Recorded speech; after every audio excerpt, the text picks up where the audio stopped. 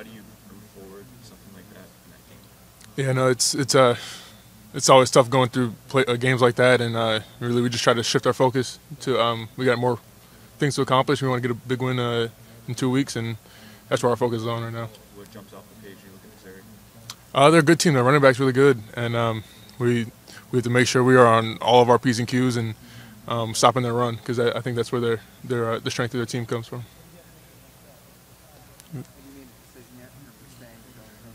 Yeah, I, I, uh, I just decided, I'm, or I've talked to my family a lot, but I'm going to stay for another year, and uh, um, I'm I'm really happy with my decision. And there's a lot of a lot of decision that talking with my family, but I'm happy with it.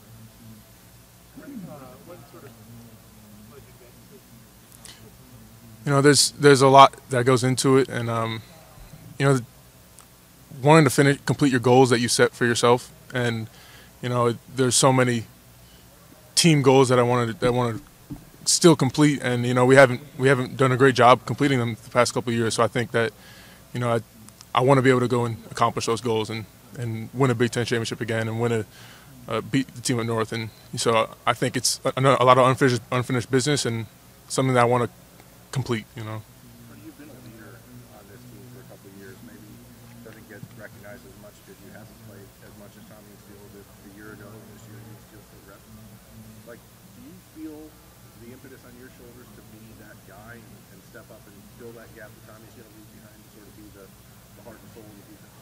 Yeah, you know, I, I, I look forward to, to getting that challenge, you know, and, and uh, it's always it's never easy to kind of say I want it on my shoulders, and I don't really want anything on to be solely on my shoulders. It's all team based, and I, I want everyone to feel like that sense of brotherhood that we can come in and, and uh, really make a difference next year. But I, am looking inside to myself and, and knowing that it's a big challenge. I need to be able to lead the defense and and uh, really have a strong year on defense because we need to have a, a strong defense to be able to do what we want to do.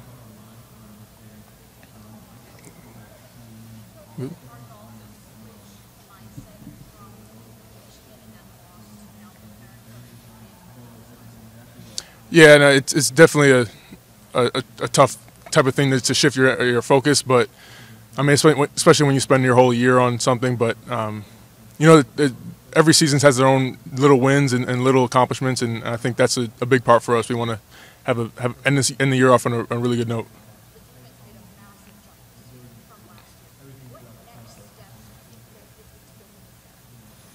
You know, it's. I mean, uh, the the message is always kind of the same. It's all about the details, and and uh, you know, there are always plays we want back, and so we're always going to you know work as hard as we can to, to figure out figure out those little mistakes that we made and try to become even more lights out on defense. Cody, I know you're a team guy, but you mentioned the little wins. What do you think you've done to have the little wins this season from last year?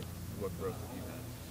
You know, I, I think playing my role as well as well as I can. You know, I think there were a lot of times where the coaches calling me to, to fill a role and, and make make a difference in the games and and I think my, my ability to step in and, and contribute and to create make and make plays for the defense really helped the uh, the success of the team and you know I, am just I'm thankful for that the coaches allow me to be in that position and you know again those are the little wins each game.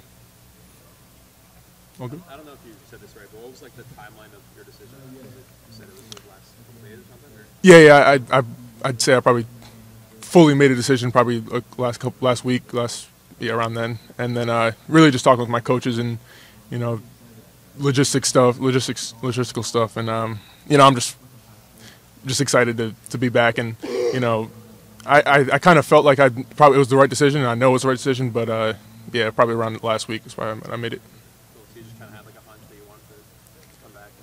Yeah, I mean, and and it's it's important because I there was a part of me that did want to go and want to explore what the NFL has to offer. But uh, you know, I I think ultimately it's the right decision to like use all the time you really can because you never get these years back.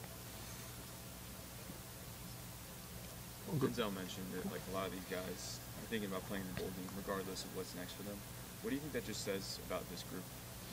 You know, it, it I mean, there's a lot of stuff that happens during the season, and uh, you know, you can't really blame someone for not playing, and but uh, you know, it, it means a lot because it shows the love that the, these guys have for each other. And uh, you know, obviously every situation is different, but you know we've gone through a lot together and, and, we've sacrificed a lot for each other. So they, they come out and they play, and it means a lot for the team.